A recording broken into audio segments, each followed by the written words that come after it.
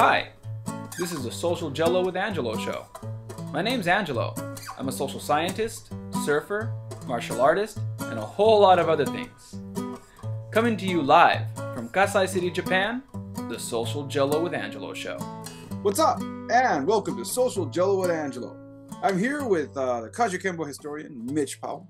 Uh, Mitch, Mitch, before I even go, so for those of you watching, this is part of a series to, of a Q&A, Q&A with uh, with Angelo about a question that one of my listeners had about Kajukenbo and the different methods. But before we get to that question, now I have to address another question. Oh, I didn't tell you about this one, Mitch.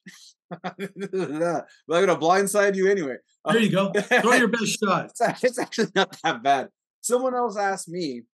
They said, uh, while I was answering this question, they're like, you know, when you did the the Gaylord episode, I really wish that someone, I wish you, uh, not someone, I really wish you would have gone into a deeper dive. He usually, he literally used the word deeper dive into the history. And uh, I didn't really respond much to it, but I'm going to respond to that right now. Well, we're doing the Q&A with Angelo. I'm here with Mitch, who is the official KSDI historian. And if you ever want to hear more of a deep dive, just, you know, ironically enough, the name of the podcast that Mitch and also Glenn's still on there too, right? You and Glenn are, Yeah. are doing the. And if I if I if I remember, the, and I'm really bad with names, and I'm probably gonna fuck this up, and I always say that. Those my all my disclaimers. It's called the uh KSDI Talk Story, right? Talk Story. You got it, man. You hit a Okay. home run. Talk story.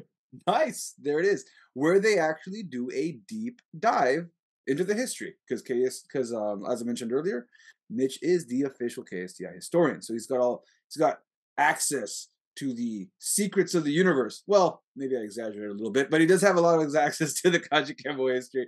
So um so before without further ado, here is the question that this episode's gonna cover. Um, this is coming from Aromatic Illustrator from Reddit. Uh, thank you very much to the people who are positive on Reddit. Usually it's a lot of hate, but this guy was pretty cool. He says, Hello, I just started training in Kajukenbo here in Southern California. I am 45 years old and have a black belt in Judo.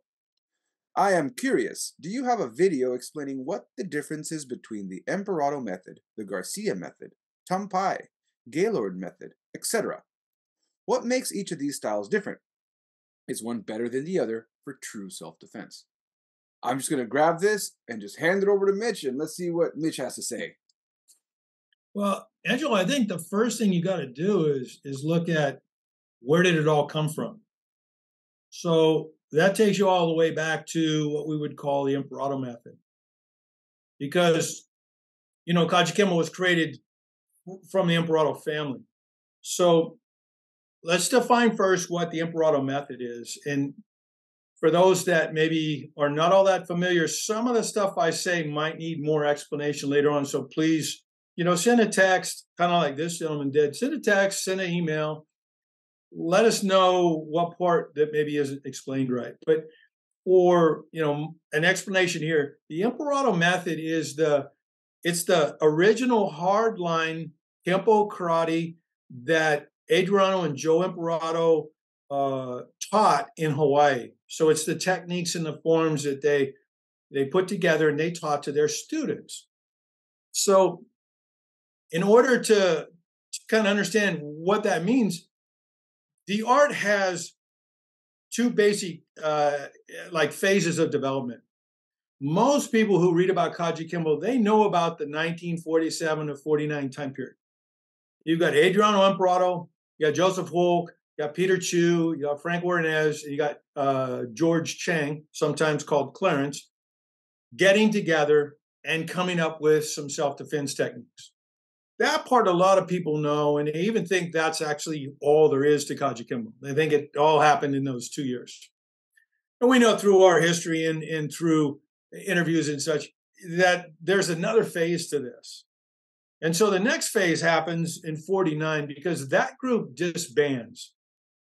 And in 49, Adriano Emperado, he gets his black belt from William Chow. So he starts teaching a group of students of his own over in Halawa Housing, which was the veterans' housing where Emperado lived.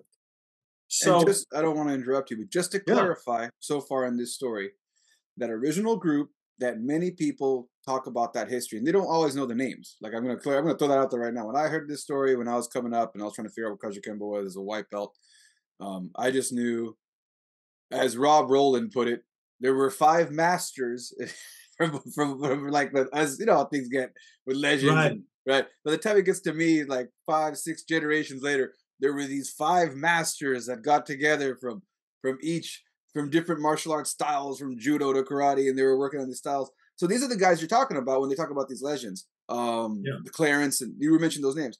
But Yeah. what you're saying right now is that group broke apart. Did I is that Well, they went separate ways because the military uh, was, you know, doing the Korean War stuff now, and some of them were in the military. So they were no longer five guys trying to train together. They'd gone off. Joe Hope went off, and uh, and Peter Choo went off, and so they're not around. And Emperado's still there. He had already been in the military. Emperado went in the military. I think it was uh, December '44 uh, something like that 44 45 he, yeah maybe it was 45 no it was 44 he went in the military relatively early um, so he'd already done his military time so he's still on the island and now he's training people of his own right? But he's got two things going on. He's got his private students and he's still a student of william chow. He's still learning kempo from william chow along with his brother joe emperado who's also william chow's student right so when you get into this 49, this time period, he's got his own people, he's teaching, he's training people. And then, according to the records we have in 52, in May of 52, Emperado starts teaching at the Palama Settlement Gym. So the Palama Settlement was a like a rec center that people could go to, and you know, generally a low low income area, and they had a gym there. And in that gym, they had boxing and they had judo and they had kempo. So Emperado goes over there and starts formally teaching. Now, he may have taught there sooner, but our records show formally May of 52. That same year, he promotes his brother Joe to black belt, and Joe's his assistant. So you get through the, the beginning of the first school. This is the very first Kempo school under the Emperado, Emperado brothers. And Joe gets his black belt, so now he's a black belt as well. And you got to keep in mind when Adriano Emperado got his black belt in 1949, there were not very many black belts in Hawaii. Mitose, uh, Thomas Young, William Chow, uh, maybe McCandless. There's only a handful of people with black belt in Kempo. So that was kind of a big deal. Now Joe in 52, he's got his black belt as well. So when Emperado starts teaching over there at the Palama Settlement Gym, Woodrow McCandless was already there.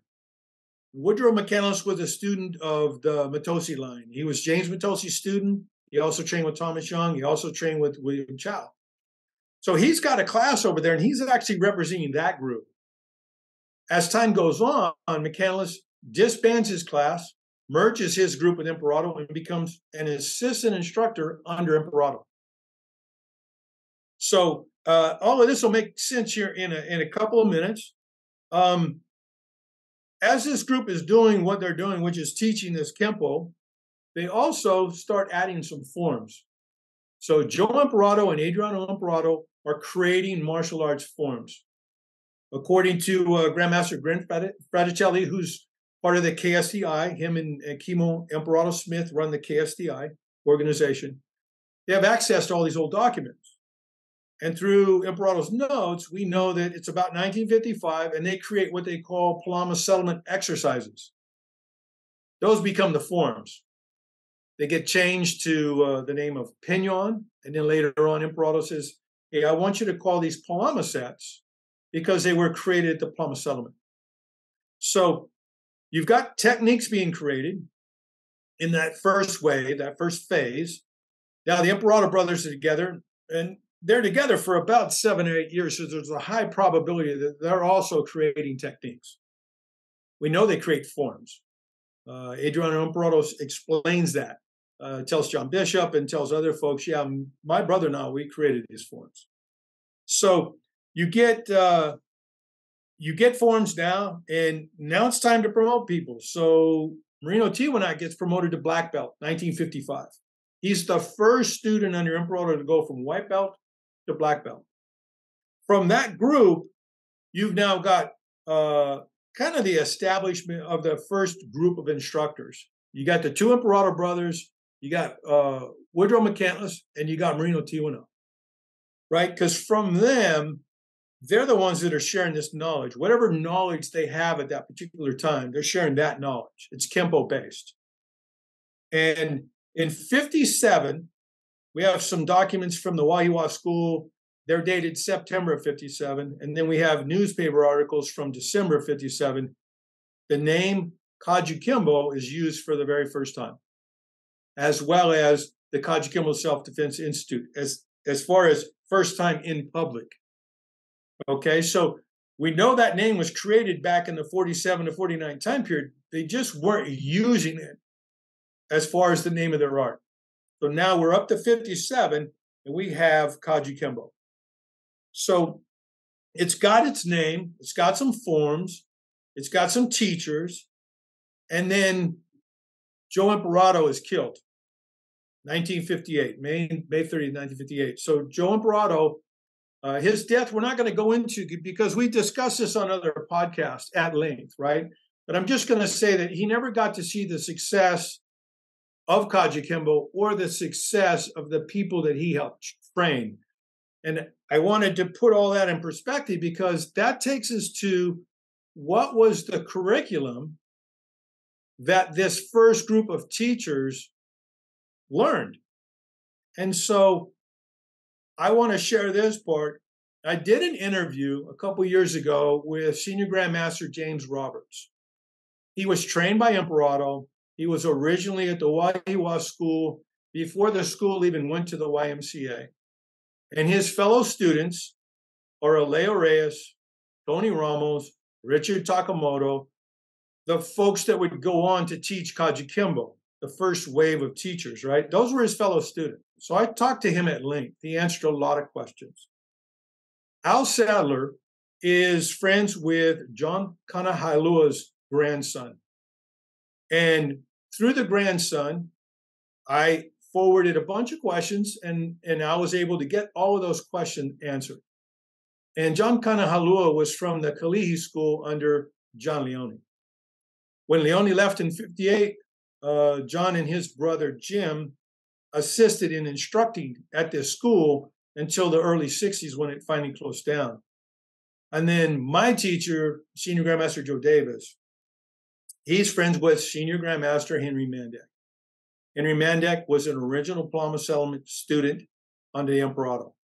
So through those guys, through other interviews and so forth, we know the curriculum that was taught that was considered to be Emperado method was 11 punch counters, 11 grab counters, some multi-man attacks, some knife and clubs, and about seven forms. So until the 19 like later part of the 50s, that was the whole Emperado method. So I, I, like pointing that out because a lot of people think Kajukenbo was created like 47, 48, 49. It, it wasn't. This is a decade later, and they're still putting the pieces together. So, sometime after this period, Adriano Emperado creates 26 advanced punch counters that he calls alphabets. So, we're not even to 1960 yet, and that's the curriculum. That's what these guys know. Right? So, we we we lay the foundation. We talk about where it came from. You have the first group of teachers uh, or creators, I should say founders. Then you have the second group that does the creating of the forms and puts it all together and teaches the first wave of students. So while all this is going on, I'm just going to pause you real quick because I have one question about, and this is going to kind of address uh, his question about self defense. And I don't, I don't, know, I don't know if it's the true self defense one, but as far as the differences in the self defense, uh, you were saying right now they created 11 punch counters, 11 grab counters. Now, you said after this point he created the ABCs, which are which are 27 punch counters. Are these 26. these 26? 26 letters in the alphabet. Okay, 26. Sorry. So these 26 punch counters, are these in addition to the original 11? Yes. Okay, that's what I want to know. All right, cool. No, Go ahead. Sorry. Okay. So where we're at now is we're looking at the Kempo that was being taught that became known as Kaji Kempo.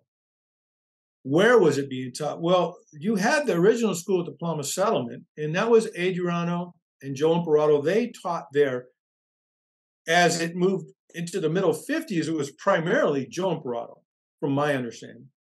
He had a school at Kaimuki, and that school was initially um, under the direction of George Saronio. They called him Polly Saronio, but George Saronio was his name. And his student, primary student, was uh, Charles Gaylord. So you'll hear Gaylord method. This is who we're talking about. This is great grandmaster Charles Gaylord. He gave uh, credit to George Saronio as being his chief instructor. So I asked uh, great grandmaster Gaylord, who was a friend of mine, um, I had asked him years ago, I said, well, when Saronio wasn't teaching, who was teaching at the Kaimuki school? And he said Aleju Reyes was.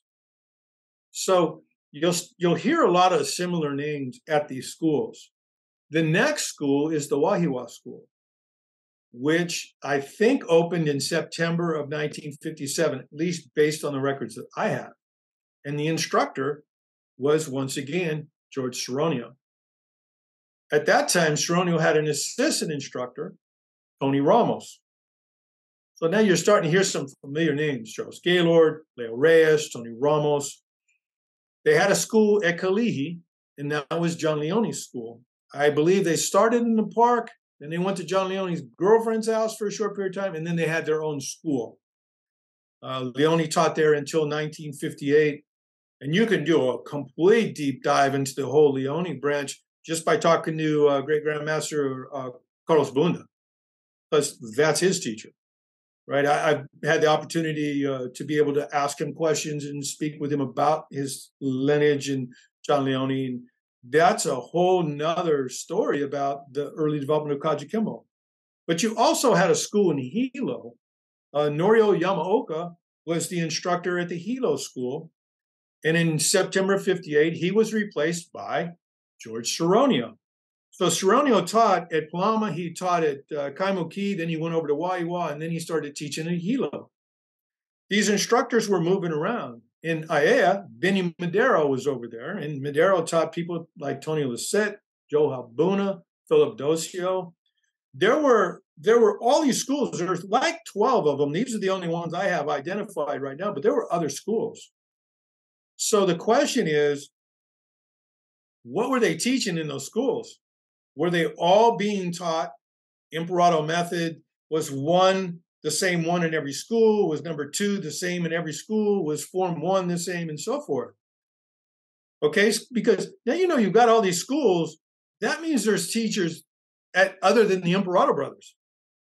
So if you're trying to figure out what was being taught, it was like, well, were you learning directly from them? or were you learning from one of their students? And I do want to point out that not all of those folks teaching were black belts. Many of them were even purple belts and blue belts and you know green and brown. They weren't black belts when when John Leone left Hawaii in '58. He was still a brown belt. Uh, I think Tony Ramos, Leores, they were all they were all color belts when they left Hawaii. They got their black belts after they left. So the the school was growing so fast that Imperial didn't have enough black belts, and these students were all coming up, and they had the opportunity to teach while they were colored belts. So, from the first schools, you've got all of these different dynamics going on. You've got the Emperados teaching in different schools. You've got their students teaching in different schools, and the students are learning from all of these folks. Um, you also had Tiwanak, um, Reno Tiwanak, who was Emperado's first belt, he had his own group of students.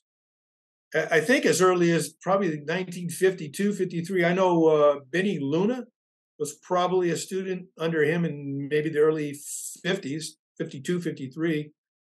So, what was he teaching? Because here's where things get like almost confusing. As as this art of Kaji Kembo is being created, it's going through the 50s the entire time. New things are being added, things are being refined, forms are being added. I'm sure they're being refined and changed and modified. As those students are learning, the knowledge is changing. So if you're the guy and you leave it in 1958, but I stay till 1959, I'm, I'm another six months, a year after you, the stuff's probably different. So what I get that's Emperado method is going to be a little different than what you know as Emperado method. Uh, I do know that they kept notes. Leo Reyes was the secretary, and he had to write everything down. And they were supposed to make sure all the schools did everything the same way. And at this point, there's only the Emperado method. At this point, that's all they know. Nobody okay, has so, any other methods. So, just to make things more confusing, right? So we're not even like into the present where we actually distinguish different methods. What you're saying is, while we have this thing called the Emperado method, people are already adding their own flavors to the Emperado method. Is that? Well, I don't think they got the flavors in there yet. I think we're too early. right. I think the only guy that maybe had his own little flavor at this point in time, I would think would be uh, Marino Tiwanak, because he's got his own little you know group, and then of course each instructor had has their own way of doing stuff, right? So I'm sure like Benny Madero was probably not teaching exactly the same way as John Leone, because what other influence did they have? You know, Madero was a boxer, right? A lot of these guys were boxers, so their ring fighting experience is going to change the way that they would you know introduce and teach stuff so when you think of black belts and, and the whole beginning of all this you know everybody knows joe emperado was the first black belt um, Marino Tiwanak was the first guy to go from white to black. So he's actually the second black belt under Adriano Emperado. Uh, according to John Bishop's uh, interviews with uh, Adriano Emperado, uh, I think Vernon Chong is next. Uh, then Emperado says it's Walter Lee, then Benny Madero, then George Sharonio, then Sid Asuncion. Uh, I think a few years back, Jerry Scott and Clarence Luna interviewed, I believe, Walter Lee, and he said that he was actually a brown belt, never made it to black. So very few guys will ever tell you that. Yeah, no, I didn't make it to black. They'd say, yeah, I was uh, 10th degree, right? Um, so I thought that was kind of cool, but that's like the first group of black belts and from there, that probably takes us up to 58 ish, right? So when we, this will help us define the different kinds of Kaji Kembo. But you go through the first generation of instructors. Most people look at John Leone, Tony Ramos, Leo Reyes, Charles Gaylord, and Joe Halbuna as like being the first group of instructors. They're the ones that left Hawaii, went to the mainland, started teaching schools. Leone went first. He went out to LA area. Tony Ramos went to LA and then moved to Fairfield, California. Leo Reyes went uh, over to uh, the Northern California area. Charles Gaylord, Bay Area. Joel Buna, Bay Area. And they start teaching in schools. But the reality is, if you look at all the students that made Black and beyond that came out of that 50s era, there's a lot there's like 25 names that could be considered emperado method instructors Tiwanak, Leone, Madero, Soronios, Asuncion, Ramos, Reyes, Gaylord, Halbuna, Lisette, Godin, James Roberts, Ben Kekuma, Jaime Vasquez, Curtis Ryan, Herman Wiedemeyer, uh, Henry Mandak, Johnny Gaspang, Richard Takamoto, Mausi Hikulea, Victor Gascon, Abe Kamahoahoa, and even Clarence Luna, who was able to train uh, from directly from uh, Adriano Emperado, who's his stepfather, right? All of these people have Emperado method knowledge and can teach that to their students and share that with their students. But every step away from the Emperado brothers means that the knowledge can be different. So the knowledge taught in each one of these schools or through each one of these instructors can be a little bit different. Now, as uh, as this stuff is being taught, if you're not learning it directly from the Emperado brothers, if there's someone between you, just know that there could be some differences. And even if you were learning from the Emperado brothers, they were modifying and adding to and creating Kajukenbo. So what they taught in 56 was not going to be what they taught in 57 or 58. You are was it was constantly evolving and growing. So there's going to be differences no matter what. Right? So let me let me take you to where I believe a line was drawn in the sand. In the later part of the 50s, Adriano Emperado became interested in Kung Fu. Kung Fu was starting to make a way in Hawaii and obviously across the mainland. By the 1960s, Emperado was deep, deep into the Kung Fu concepts. It got to the point where he started training uh, with Al de la Cruz and Al Dacascos and coming up with modified versions of the original hardline Kajukenbo. So now we're going to talk about Chuan Fa, Tum Pai. Those are other versions of Kajukenbo that have uh, Kajukenbo original method ties to it, but a Kung Fu influence on it. Forms and techniques are now done differently because of the influence of Kung Fu.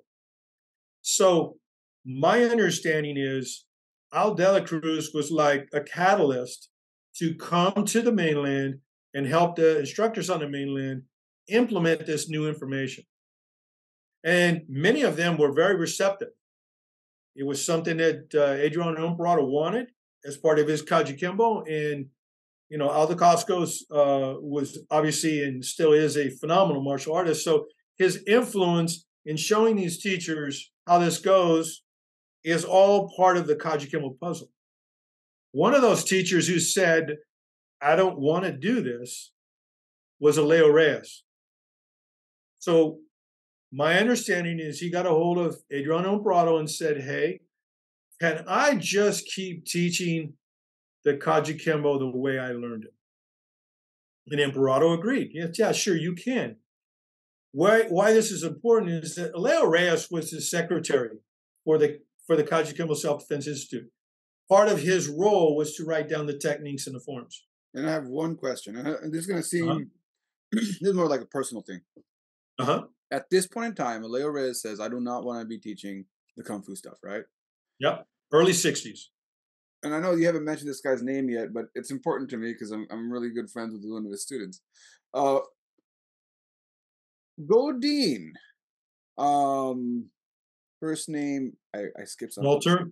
Yeah, Walter, Walter. Godin. Walter Godin at this point has nothing to do with this kung fu thing, right?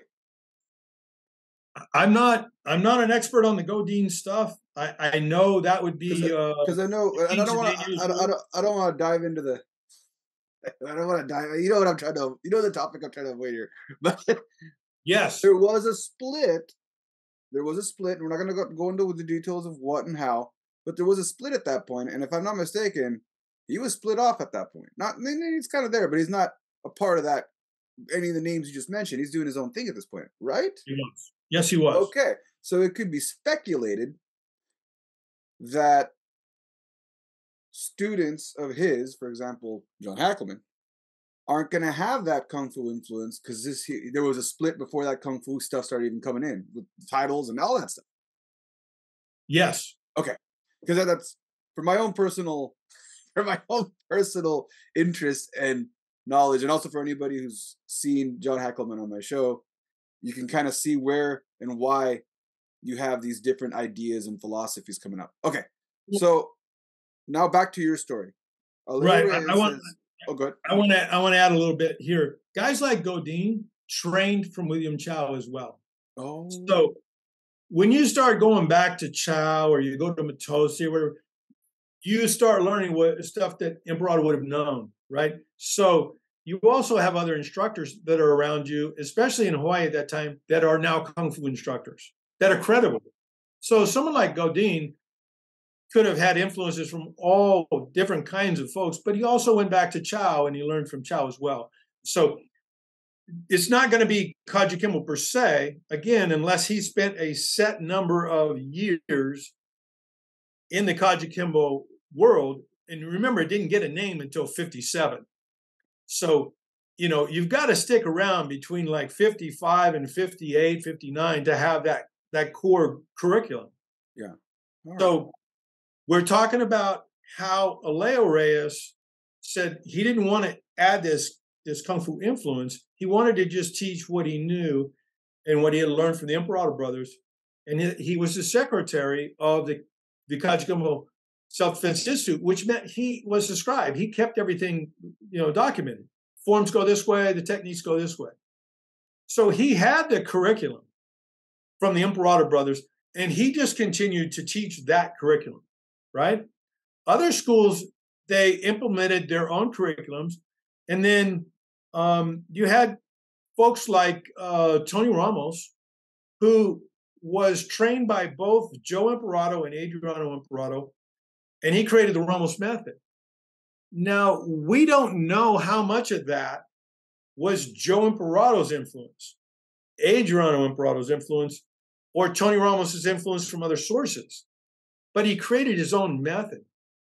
Charles Gaylord has Gaylord method, right? You have uh, you have these different trains of thought from the instructors, and you can't blame them or criticize them for making changes when they came up in a system that was constantly changing. And at, you know, on Friday it was Kempo, and on Monday it was Kajukenbo. It wasn't like something, you know, s- seismic happened. It was no, we're changing the name. We're going to actually call it this now. They watched this. They lived it. They were the they were the students. They were the guinea pigs as this was being created around them. They left and did the same exact thing. So their versions can be, you know, a lot like the Emperado method or less than or their own thing and so forth. So some schools added the, the Kung Fu aspect to it, including the Ramos method. We had a lot of uh, the Kung Fu influence in that system, right? And so you have Tum Pai, which is its own group, and it's actually thriving right now. I know Tum Pai in the Pacific Northwest, they're thriving. So it's still going strong. Chuan Fa, I'm not that familiar with who's running the Chuan Fa groups anymore, but Al Dela Cruz is the king of Chuan Fa, and, and he's he's still going, he's in Hawaii, still going strong. So this is a little different than the original hardline stuff. It's all under the Kajukenbo umbrella, but it's different than the Emperado method. The Emperado method is considered to be the original hardline Kempo version, right? The reason I believe that we're here talking today about the Emperado method is two things. Aleju Reyes saying, wait a minute, can I just keep teaching what I was teaching? And then uh, Senior Grandmaster Gary Forbach. Uh, years back, Gary Forbach had the the insight to bring Adriano Emperado into the fold and create videos. He was Gary Forbach was a direct student of Leo Reyes, and he he filmed this Emperado method knowledge with Adriano Emperado with him, and of course Joe Davis and a group of other Kajukenbo guys. They put all of this curriculum on tape originally it was a it was an eight track tape that became a you know a DVD, and then uh, now I believe uh, Gary Forbach allows you to uh, like pay a fee or whatever and and view all the videos online. Yes. So for anybody listening right now who's interested in that, uh, if you go to, if you were to go to either the Kajukenbo Trading Society uh, Facebook page or even the Family Tree, Kajukenbo Family Tree Facebook page, and if you don't personally know Gary Forbach, but you just threw up there, hey, I want to have access to the Emperado method through Gary Forbach, he is very good at responding to that. So whether it's through a DVD set or now online, um, definitely that's the best way to get access to that. All right. So that takes us up to well, what is the curriculum, right? So for those that want to know what the Emperado method curriculum is, It's 21 punch counters. It's 15 grab counters, 15 knife counters, 13 club counters, eight two man counters. There's six three man counters. There's one four man counter. There's 26 advanced punch counters. Those are called the alphabets. And there are 14 Palama Set forms. That's the curriculum that is considered to be the Emperado method knowledge. Uh, about, I don't know, a few years back, uh, I worked with uh, Grandmaster Joe Davis. Actually, 20 plus years ago, we created the Alphabets DVD. And we did that as a fundraiser for Adrian Emperado and the Emperado family.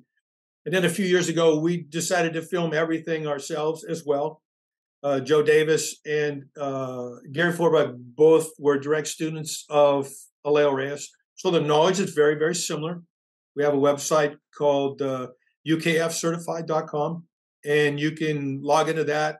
It, there's no charge or anything like that. You just have to be a black belt in Kaji Kajukenbo. And then you can access these videos and you can see all of this curriculum that we just got through talking about. It, it's all available there. So you have a couple of sources, and there are Emperado Method schools on our website. You can see the various schools.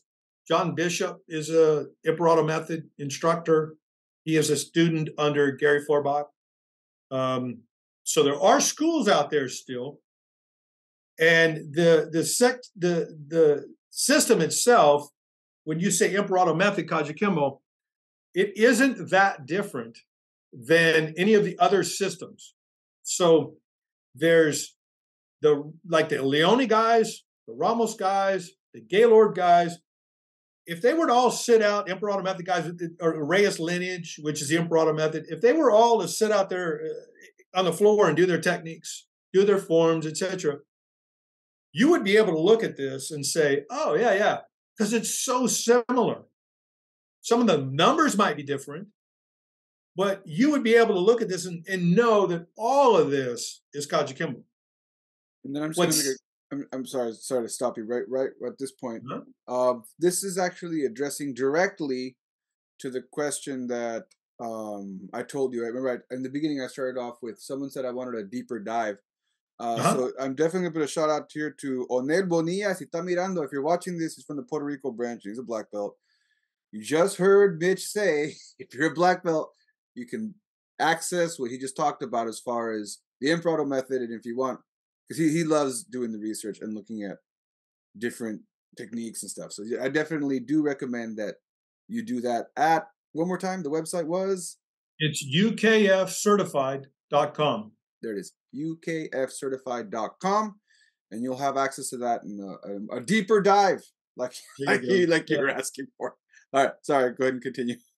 I, I probably should tell them my organization is United Kajukenbo Federation, thus UKF. So uh, what I was going to say is that you could set all these schools out.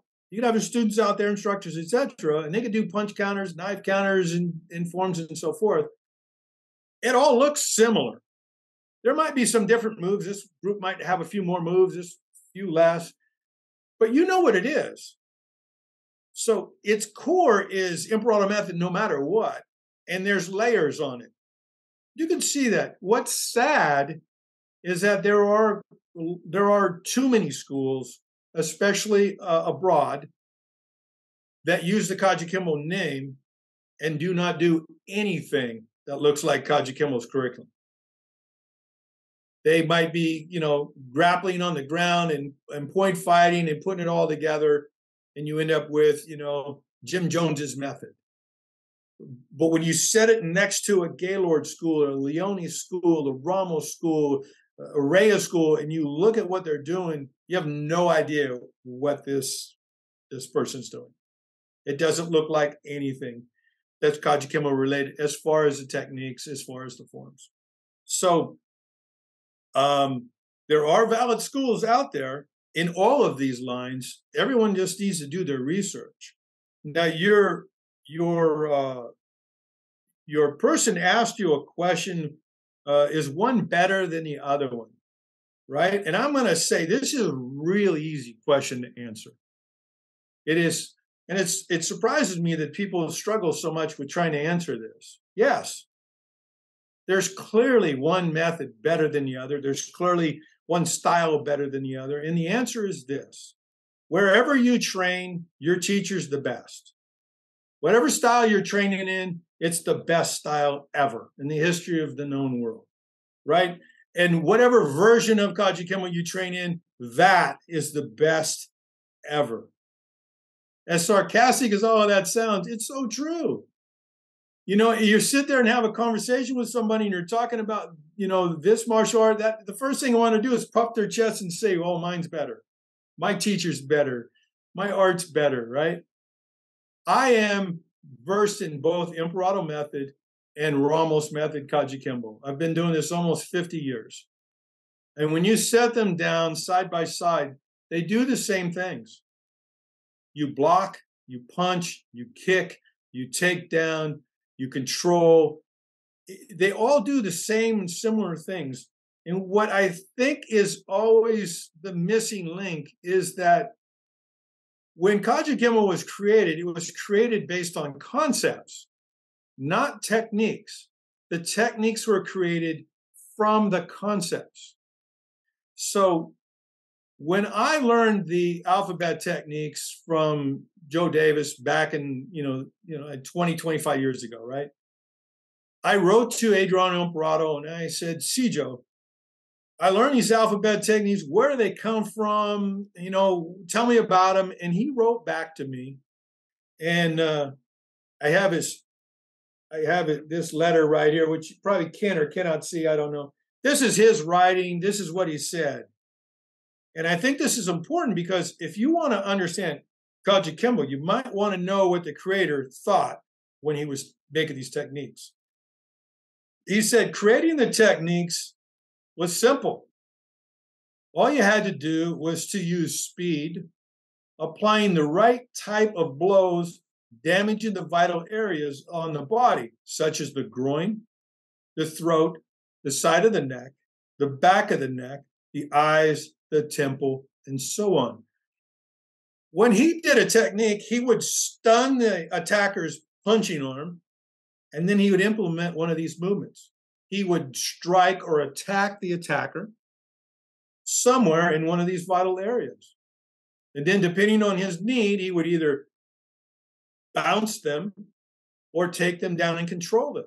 If he felt like he needed to, to strike and kick and move them out of the way, that's one thing. If he felt like he needed to take them to the ground and control them, that's something else.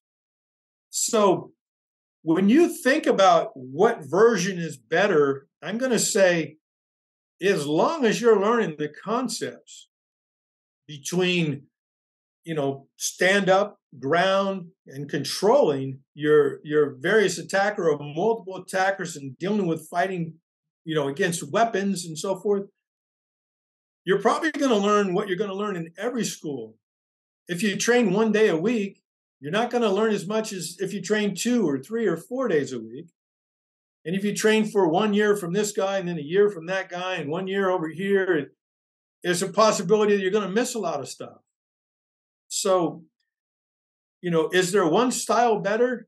How about are you better than the other people that are training? And are you better today than you were yesterday? How much are you willing to put into this? So, the Emperado method is the old Kempo karate version of what the Emperado folks were teaching. It's watered down as it moves through the generations. The farther you get away from Hawaii in the 1950s and that core group of instructors, the higher probability you're not going to be learning what they were teaching. And then there was someone asked about the Garcia method right? That was that same gentleman asked about Garcia method. So uh, I'm familiar with Angel Garcia. Uh, I've known him for many, many years.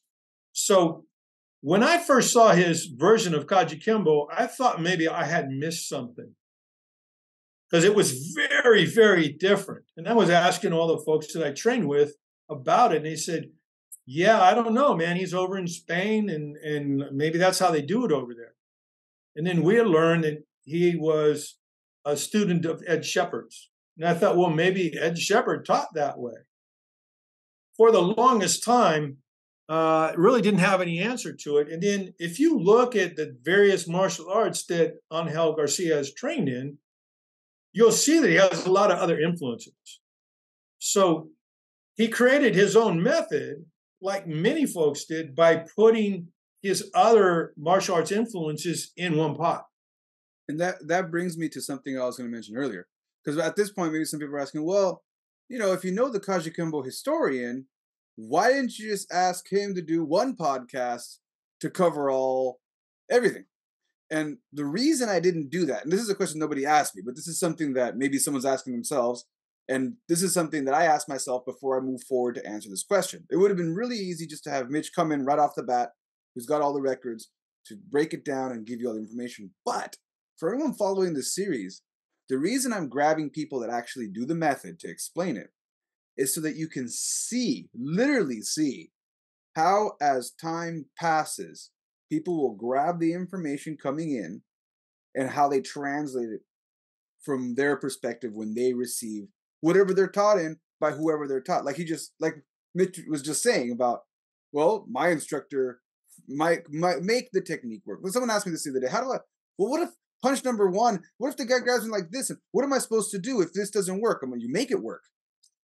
That's, well, you, you, need to understand the concepts understand behind the concept, what you're but, doing. But you need to make it work. Like that's one of the primary things that I'm telling them is if, if it's not working, then you're doing something wrong and you need to make it work. Like it's there's no if ands or buts about this. But what's but what's the takedown?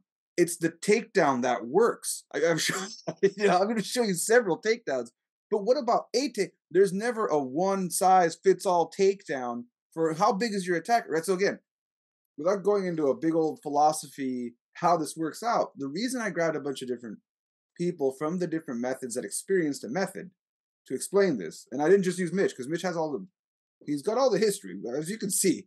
Um, he's got all the history and documentation of how it went forward was because I think it's kind of like a uh, real time explanation to not only now you can grab what Mitch said with the history, and then you can go back to those other interviews. If you've already heard those other interviews, you'll see why they are seeing things or saying things. Because I did interview a, a, a, Garcia guy, and he was just, and if you saw that episode, you'll see what he was saying. Like, so you just said, like, you know, the, the movements, the influ- He said the same. He said, now we already see a connection right here.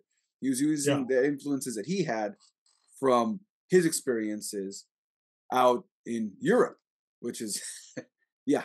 So yeah, sorry. Go well, ahead, go ahead. You know, there there's just certain areas uh, around the world where watch them train and they hit each other much much harder than people do in other areas.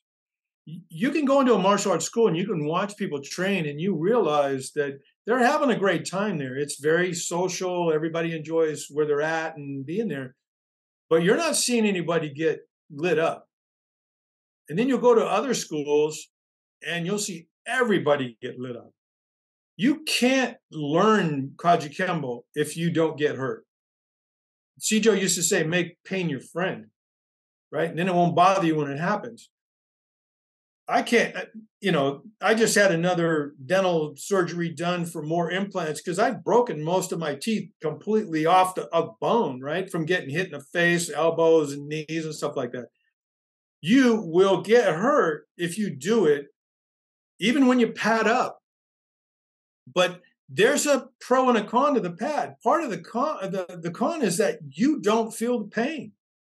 You have to get hurt you have to know what it's like to not have any air, to get bruised ribs or, you know, get get knocked down, flipped, and dropped on your neck so hard you can't bend your head for a month. That's all part of the training that teaches you how to share it with somebody else. And it cannot be you're fighting, you're you're you're training to to you know destroy somebody. You can't learn that without doing that. And and again, like and we're getting close to the wrap up here, but see, so uh, half of this tooth is fake. And what I want to say is, this doesn't even. Some of you listening might be thinking, "Oh, this is happening like, oh, they're like sparring really hard." I've gotten more hurt being an uke And it's not even I've got more hurt being a training partner, and not even for a black belt. Okay, I've gotten more hurt training a student, showing them the technique on how they're supposed to do it. I've got that's how I lost half this tooth.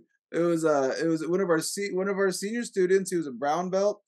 I'm pretty sure he was he must he was he was one of our older students in the class. He must have been at the time and maybe I was like 20 something and he was like 50. He was de- he was definitely over 50. And uh and I forgot I, I can't even remember how it happened, but we were going over one of the punch counters and um and he he kind of moved uh, in a way that I didn't see coming and he ended up doing a reverse elbow that was not part of not part of the original technique that we showed.